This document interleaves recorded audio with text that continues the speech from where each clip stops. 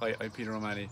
I'm wishing all the players and teams all the very best at the Mixed Ability World Cup coming to Cork this June. I hope you all have a great tournament.